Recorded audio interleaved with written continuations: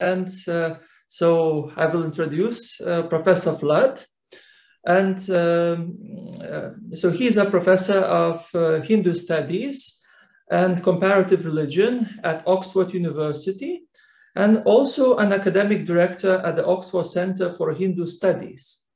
Uh, Professor Flood's research interests are in medieval Hindu texts, especially from the traditions of Shiva. And his other interests are in comparative religion and phenomenology. Professor Flood published uh, many books.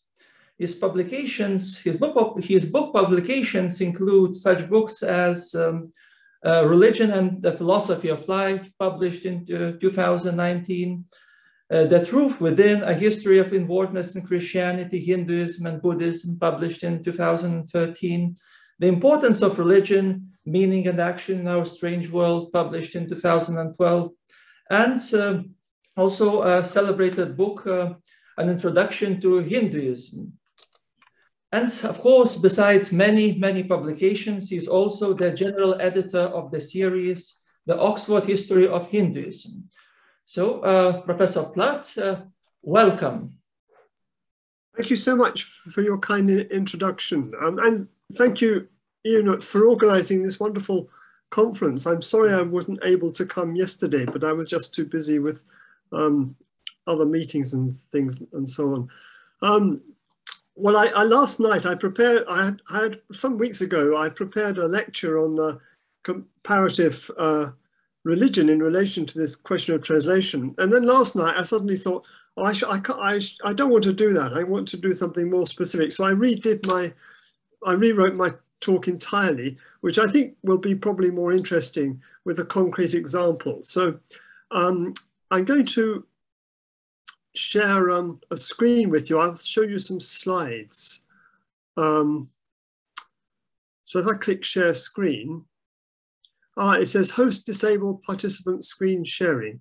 So I suppose I just. Uh, uh, you, you, should you now should you should be able to share. Uh, oh, there we are.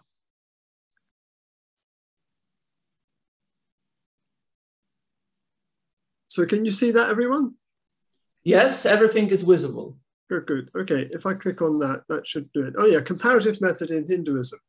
So we have, um, I have 20 minutes and then we've got about 10 minutes for discussion. So I want to begin by looking at different models of comparison. There's different understandings of comparison imply different understandings of translation. So there was uh, the original lecture I was going to give was about um, uh, the, the, problems problems in comparative religion are based on um, the problem of neo-Kantianism. In um, Gillian Rose, who was a, a, philosopher who wrote some interesting work, she wrote a book called uh, Hegel Contra Sociology. And in that, she argued that sociology was fundamentally neo-Kantian, which she saw as problematic. I was going to look at the same sort of thing in relation to comparative religion. Uh, because the Husserlian model, if you like, of the philosopher Husserl, which implies a subject quite distinct from an object, if you like, and that, that model of comparison, which I haven't got time to go into here, implies a Platonic understanding of the text. So we have this in the notion of, um, you know, you produce a critical edition of a text, and you and you note the witnesses, the witnesses to the text. So that implies a kind of the eidos, the pure kind of text of which there are different witnesses. Um, and so that's a model of translation, which is based, which is also linked to a certain model of comparative religion or even um, comparative study more generally. Now, I, I think I'd like to generally contrast that or even oppose that view with a kind of hermeneutical phenomenological view which implies a more historically contingent model of the text rather than the Platonic kind of eidos, eidos, which is reflected in the witnesses. So that's a sort of general theoretical uh, background. Now, I thought it'd be more interesting, rather than me going on about that, would be more interesting for you to hear a concrete example uh, from the Shakta Shaiva traditions of Hinduism, the, the religions of Shiva and the religions of of the goddess, which fused together in the post-Gupta period about after, after 600 AD, uh, and that developed particularly in Kashmir. So that's what I'm going to be speaking about uh, today and raise the issues that I began with uh, at the end. Um, now, there are textual accounts of what might be called meditation and its accompanying doctrines of liberation, which I thought you might be of interest to this particular uh, conference. Uh, now, these were expanded in this Shaiva Shakta scriptures, these scriptures which were Shaiva but strongly influenced by goddess traditions. And these texts that came to be known as Tantras in the early medieval period. Now, these traditions were very much concerned with rituals. So you, the Shaiva Siddhanta, which is the, the standard tantric Shaiva uh, um, religion, uh, system in the religion of Shiva, whereby you get liberated through initiation by the guru and you undergo a process of ritual through your life to purify your soul so that uh, at death you're liberated, videha mukti, at death you, you attain equality with Shiva, Shiva Tulya. You don't merge with Shiva, you become like Shiva. Um, now that became the standard pattern in, in medieval, early medieval Hinduism of ritual. And this system became very widely adopted by kings throughout South Asia and Southeast Asia. Now there was, a, in response to that, there was another tradition that developed that says, no, you're not, it's not that you're, you remain distinct in liberation. You are Shiva, you become one with Shiva. So these non, non-Siddhanta traditions developed, which were very much focused on the goddess. So some of these texts focus on the goddess and indeed upon um, the ferocious form of Shiva. We're concerned with meditation or contemplation. We're concerned with bhavana or dhyana, visualization in particular because they thought you could get liberated, you get saved through this practice of meditation and liberation. So it wasn't enough just to perform your ritual duties and then when you die, having done that, you gain equality with Shiva. You can attain liberation in this life, Jivan Mukti, uh, through this process of meditation. Uh, one text, Vijnana Bhairava Tantra, you have these various meditations there, but without visualization. So there are, on the one hand, there are systems of visualization. You visualize the deity, you imagine yourself as the god. And the other, there are kinds of meditation where you don't do that. You imagine like an empty space, or you stare into a pot and look at the empty space in the pot, or stare up into the sky and see the empty space in the sky and meditate on that. So um, you get this idea within these traditions, the goddess traditions, of meditation as an expanded awareness. And there's one religion that I want to look at now within this goddess religion called the Krama. The Krama means gradation because it offered a system of meditation on gradations of, of, um, of the goddess, of her emanations and contractions. And then there are two philosophers called Abhinavagupta and his uh, student and also nephew, Kshema Raja, in the early in the late 10th, early um, 11th century in Kashmir who wrote about this. So I hope it's not too confusing so far what I've been saying. You're on the one, you've got mainstream tantric religion of Shaiva Siddhanta, you've got an alternative religion based on a different revelation, which challenges that, says ritual isn't enough, you have to have meditation to get liberation in this life. And those texts are very much focused on the goddess. Now, this tradition, this, the Krama, talks about expanded consciousness as non dual awareness. And the highest state here is um, the sky of consciousness.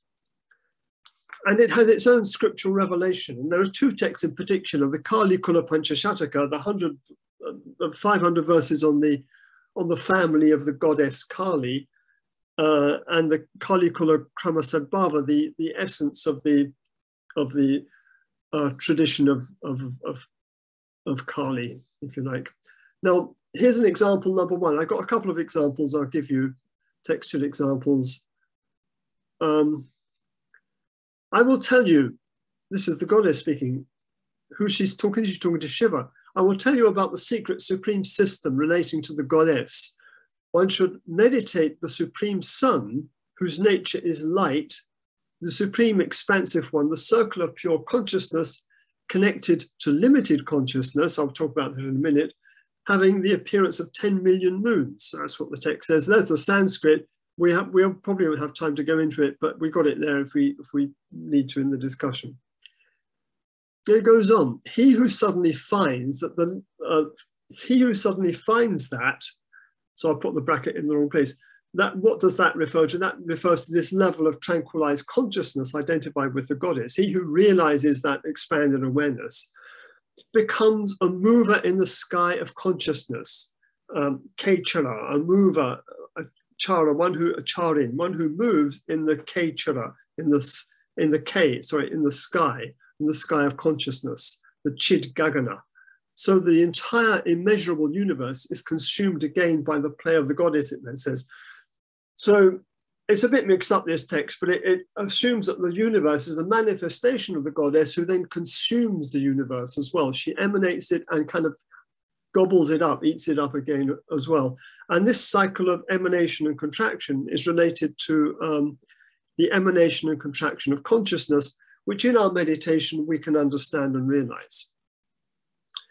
And the text goes on, there's no one equal on earth to that practitioner or sadhaka who, who does that practice. He stands supreme in the three worlds in his power, like the Lord.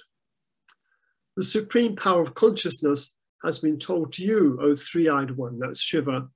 This is the supreme secret which cannot be named, which is Anarkya, cannot be named, the system of the goddess. So there's the, the Sanskrit text there. So that's example number one. We've only got five minutes. So example number two, the, the moon in the sky of consciousness, uh, which is a text composed between 1100 and 1300 AD, begins by extolling the expanse of consciousness. Quote, the sky of consciousness, Chidvyoma here, rather than Chid Gagana, Chidvyoma, is like an ocean of milk, like the full moon, a glittering wave, an expansive sound, a garland of undulating waves with drops of shimmering and spreading light. This, sky of consciousness is the essence of the primal vibration that spreads out as a syllable om. So again, a very expansive vibrational understanding of the universe as consciousness and as sound, as, as um, sound om, and as the Sanskrit text.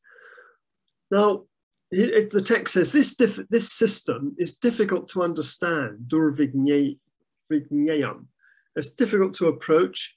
It's conducive to enlightenment of the perfected ones, of the siddhas, and it's the essence the paramamsaram that cannot be told. It's beyond words, akatam. It can't be spoken about. It can't be told. It's anarkya. It's the um, it, it, it's um, nameless. And having abandoned, it's, it's beyond the distinction between speech and its objects. The varcha, the objects, and the, the, the varchika, the speech, and it's, it's, it's abandoned, it's varjitam, it's left behind that distinction between subject and object.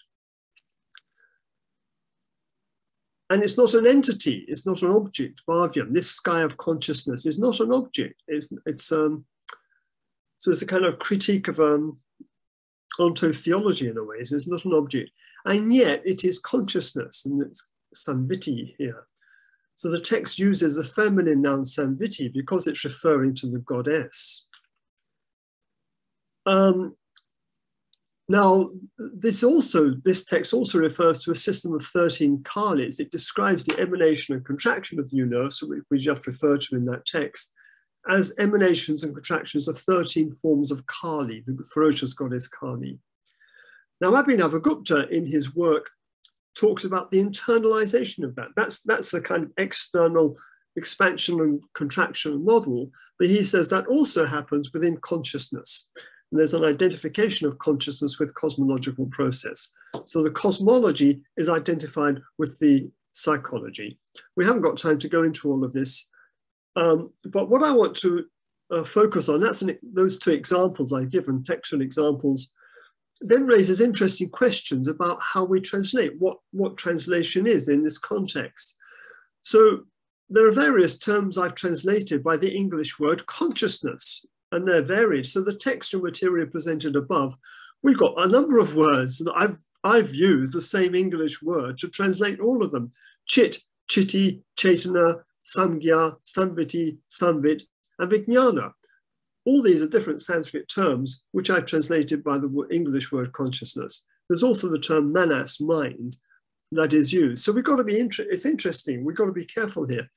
So chit, samvit, vijnana are used synonymously, it seems to me, in those texts. If you look at the use of those words, they're used interchangeably, it seems to me, to refer to the supreme reality, that's absolute power, identified in theistic language as Shiva or the goddess.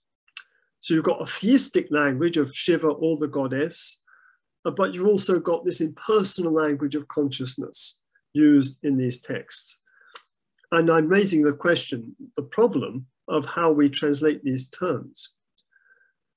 Now, chit is a masculine noun and refers to the pure consciousness of Shiva, whereas chitti is a feminine noun referring to the pure consciousness identified with the goddess, as in those two examples that I've given you from the text. Chaitana, on the other hand, refers to the individual or particular embodied consciousness, and we find this in Kshemaraja's Pratyabhijna Hridaya, the essence of the recognition of, of, the, of, the, of um, the individual consciousness with absolute consciousness. And there, Chaitana is chitti, particularized or contracted in the individual. So there he says, chitti sankochana Samkochatma Chaitan, or Chaitana, the Chaitana, the um, individual consciousness has the nature, the Atma of Sankocha, of contracted absolute consciousness. So again, a philosophical articulation of that same idea. Now we see the identification of the elevated or expanded consciousness with light, prakasha, and sky, gagana, vyoma, ka. So these words, chitti, chit, chaitanya, samvit, vijnana, are identified with prakasha, light, are identified with the sky, the sky of consciousness. And the three words are used, vyoma, ka, and gaganam, which is our truest and our deepest nature, svabhava. So it links this kind of almost metaphorical external metaphor with your essence, the essence of the person, the svabhava.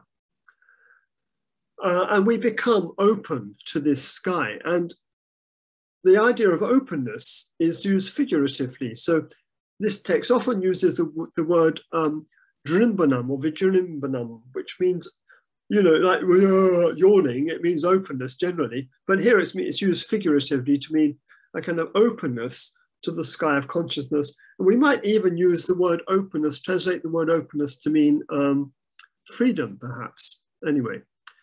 So the verticality of the sky of consciousness intersects with the horizontality of the constrained world in which we live most of the time as a spontaneous freedom. So this word openness implies a spontaneous freedom. We become open to the sky of consciousness through this meditation process. So here I've tried to represent it diagrammatically. The unnameable the anarchia, which is a pure apophasis, that which cannot be spoken about, is articulated or expressed as the expanded sky of consciousness and as light, as Chit Gagana and Prakasha. And then we relate to that, the text and the and the practice are there's a practice of the text, if you like, if you like, uh, which is meditation and certain ritual practices, which open us to this expanded sky of consciousness now, all this text practice in, inter, interconnectivity is within a certain socio-cultural comportment towards the world and the law, the dharma, as the underlying foundation of the practice. So it's an interesting question. This seems to be fairly disruptive of the constrictive socio-political um, world in which it was composed, and indeed it is. Uh, but Abhinav, someone like Abhinavagupta would maintain that yes, you have to maintain your your dharma, your, your conformity to social norms and obligations, while while practicing this kind of practice in your inner life. So that's interesting in, in itself. So what I'm trying to draw attention to is um, that you have this problem of translation and the way in which um, uh, you know, these, these terms, it's difficult to translate. Now, I would want to advocate, therefore, coming back to the problematic that I opened with, uh, how are we to understand this kind of textual material? And rather than the kind of um, the, the Rose critique of the Kantian, neo-Kantianism of the Husserlian model, if you like, I would like to say that philology is a first level. I'd like to, I would like to advocate a hermeneutical phenomenology of which philology is a first level.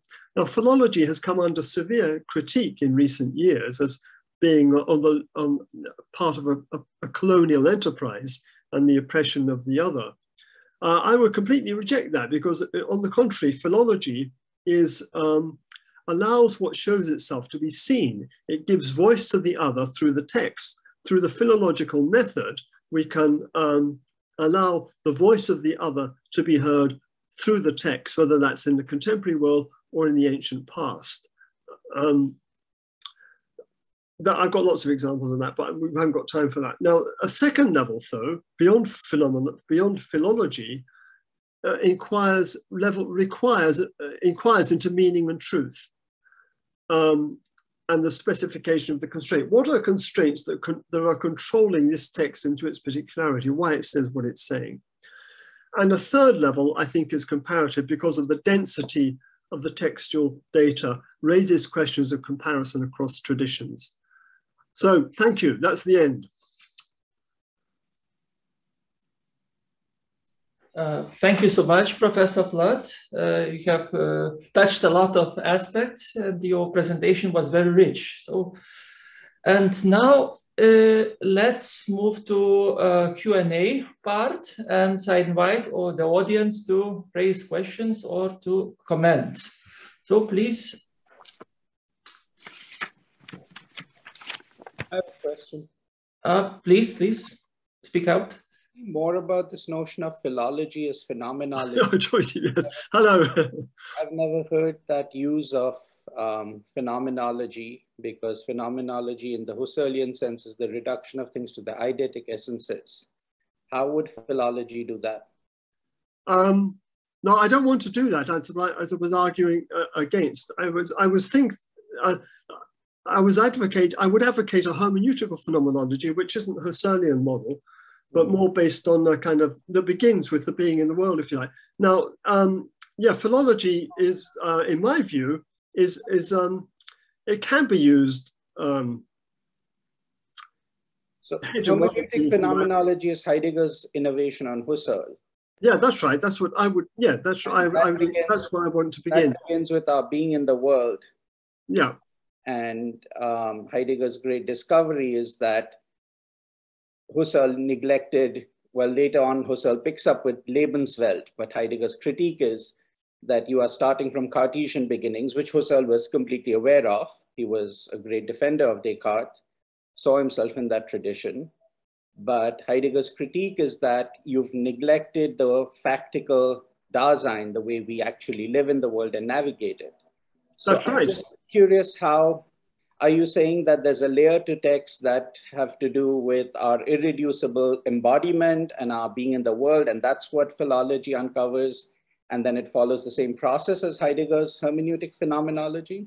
Uh, yeah, I think yeah, I yeah, I, I, think that there's perhaps there's a disconnect there, but I think that we have to.